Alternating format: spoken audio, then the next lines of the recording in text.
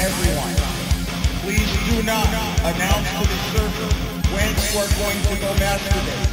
This has been a reoccurring issue.